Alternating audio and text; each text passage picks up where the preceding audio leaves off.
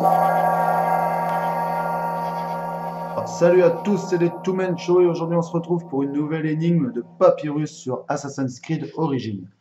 On va s'attaquer à Impasse. Dans le nom de Sapires, au nord du temple de Létopolis, tu me trouveras parmi les terres cultivées. Je suis là où la création de l'homme apporte l'eau du Nil au sable du désert. Donc on se retrouve ici donc à Sapires, enfin le nom de Sapires. On va regarder tout de suite le Létopolis, en fait, le temple, il est juste ici, tac, et on va aller au nord. Au nord, ça se trouve, du coup, en haut. Et là, on a le Nil.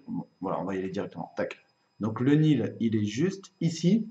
Et en fait, on va chercher une fabrication qui va apporter de l'eau au désert. Donc on va suivre en fait euh, un petit cours d'eau fabriqué euh, bah, maison, tout simplement. Et là, on voit qu'en fait, il y a un système de, de poulies qui vient apporter l'eau euh, euh, bah, de, de, bas en haut. Tac, on voit même un mec, voilà, bah, voilà on voit un mec le faire. C'est vraiment magnifiquement bien fait d'ailleurs. Hop, là on voit qu'on peut pas, qu'il n'y a pas de poulie, qu'on peut pas aller vers le haut. Du coup, on va suivre le cours d'eau toujours. Tac. Et on arrive, voilà, l'item est juste ici, devant le sable en fait, tout simplement. C'était une, énigme assez simple. Et hop, on, résolu, on a résolu le papyrus. En tout cas, n'hésitez pas à liker, à vous abonner, à partager ce genre de vidéos. Nous, ça nous aide énormément. Allez, salut